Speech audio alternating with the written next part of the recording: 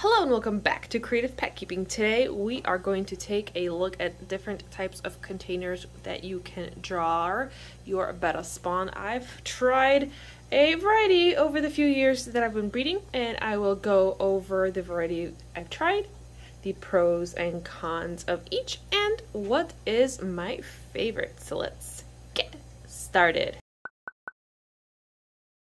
As I discuss jarring bettas, I want to put a little tiny disclaimer that jarring bettas is predominantly meant for a temporary solution when you breed a betta spawn and they become too aggressive to be kept together in a tank to grow out. So you jar them temporarily for, you know, a few weeks to a few months. It could be a few days. It really depends on your spawn.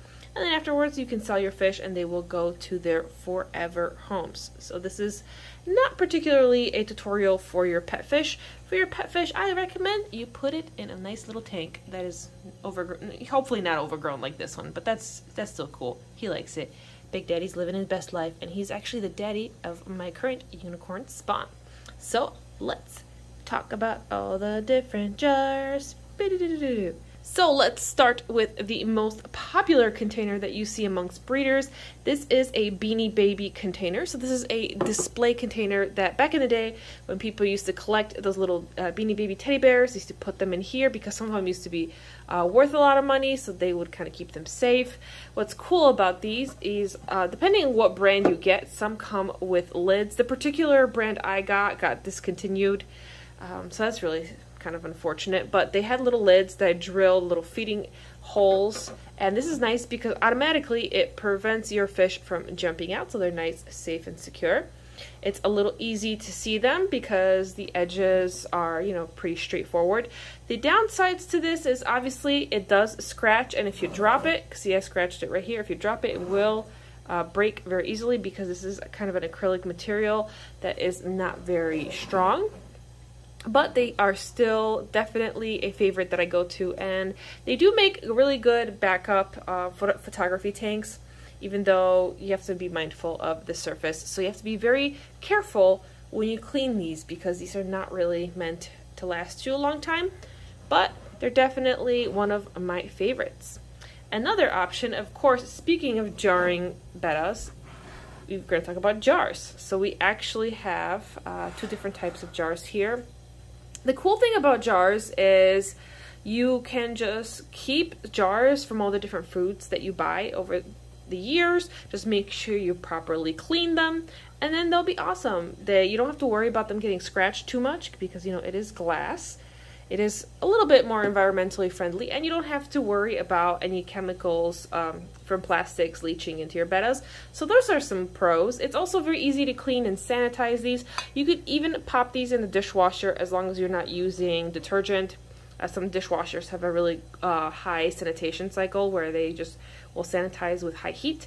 That's kind of really awesome when you sanitize. I also like to sanitize with bleach and preferably, I do like to use larger jars and get larger jars if possible. The downside is because they're round, they kind of distort how your fish look. So it's a bit difficult to judge the form of your fish as well as uh, take pictures and videos of your little fishy friends. Another popular option are these large storage containers that you can usually get at your, you know, average big box store. I got these particularly from Walmart. This is the particular brand and they are one gallon jars. They also have the lids and sometimes I will drill holes in the lids as well like I would here. So this one's kind of brand new. It gives you an idea of what it looks like. You can kind of grip it right here so it's a little easier to pick it up if you need. The downside, oh, I'm knocking things over. The downside to this, just like this container is it's a little tricky to clean these sometimes and they are prone to scratching do not put this in a dishwasher because if you put it on any sort of hot you know uh, sanitization cycle this will melt this will not hold up to it. Now, of course, you don't have to get this particular type of container. There's different brands of companies that sell different plastic storage containers and you can order them in bulk. When you order them but in bulk, they become much more affordable and cost effective. When you buy them individually at the store like I do, they're kind of pricey, but I've been just kind of buying a couple here and there as I need them. Then, of course, there are the deli cups. So there's the little tiny cups that were usually roughly about the size of what's at the pet store, and I don't really like how small they are. So I prefer, if you're going to use a deli cup, try to get the larger ones. And of course, you could get ones that are clear.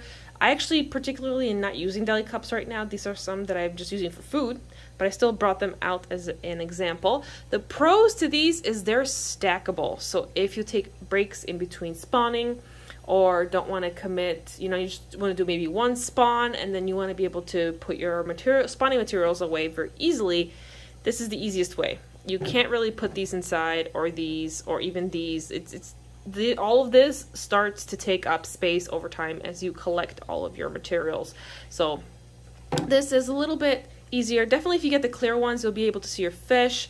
Uh, for comparison, they're roughly kind of comparably about the size of the smaller jar. So they're a lot better than, than, you know, the little cup. You still will probably have to do water changes every day or every other day with this water volume, but they could be something that may work for you. And of course, there's weird things you can experiment with. Like I've even jarred fish in these kind of plastic cups. If you want to check out the weird experiment I did with uh, my very first spawn, where I, well, I'll, I'll let you see the video.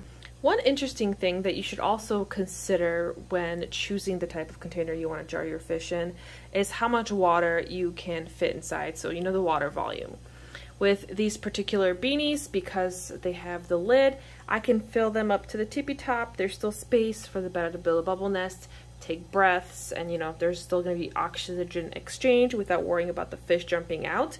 If I had no lid, I would probably fill the water maybe up to here, so that would already cut my water volume down. With the jars, what I did is I actually used to put um, the crafting knitting mesh on top for these, so I was able to fill them up pretty much to the top. But when you look at these containers, they don't look like there's a huge difference in water volume, but I'll give you a good comparison. So we're gonna move this over here, and I'm just gonna pour this inside to give you an idea of how much water is actually in here compared to a gallon. So I'm to pour this in. And as you can see, this compared to this all of a sudden is a really big difference. Even though you're like, oh, my jars are giving my fish plenty of water, if you compare it to the one gallon, this is all you're really giving your fish. That's kind of it. So, you know, don't let the sizes deceive you because that could be a little misleading. For the same comparison, I will pour the water in here into the larger jar. So as you can see, the difference between the larger and the smaller jar even itself is quite big because as you can see, this is actually almost twice if you fill it up all the way this would this one would be almost twice as much which is why if given a choice I would prefer this over this because there's going to be greater water volume. The more water volume you have the more stable temperature you're going to have in your jars.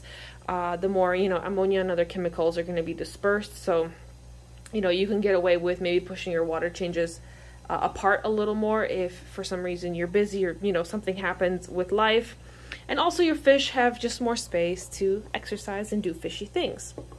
For another comparison, let's do this with the beanie right here. So if you would look at this and this, you would think, oh, they're, you know, this is obviously bigger, but maybe it's not that much bigger. So you might be like, oh, this is a great, you know, option instead of, uh, you know, going for the one gallon jars because this is maybe nicer. But if you pour in the water once again, and hopefully I don't spill anything, the amount of water that fits in these beanies is definitely bigger. It's more comparable to the larger jars versus these smaller jars. But as you can see, an entire beanie only doesn't even fit halfway. It's just almost half. It's almost half. So if you really want to give your fish the most water possible, the, the greatest water volume, I would really just just aim for a gallon. A gallon is, is a really good bet. You, I mean, just the water temperature is going to be more stable. The water itself is going to be a little more stable. Uh, your fish will have more space, and it'll just overall, it's going to be a better environment. And to give you an example, this is what I kind of have going on here. So I have more jars in my closet. Those are have the Indian almond tannins. But as you can see, these are some of the fish I'm going to be listing on my uh, Patreon very soon. I just took pictures of them yesterday. Uh, these already were listed but not claimed, so that I'm going to probably be listing them on my website in a few days as well for sale. But as you can see, they've got a lot of space. They've got some plants in there. If I want to, I can very easily flare them just by uncarding them and then they'll see each other and they'll do some little fun flare adventures like this little blue guy. I kind of want to call him Merlin. He's kind of cute. I think he's already starting to marble since I took a picture of him yesterday. I don't think he had the black on him. I swear I can't take pictures of these guys fast enough.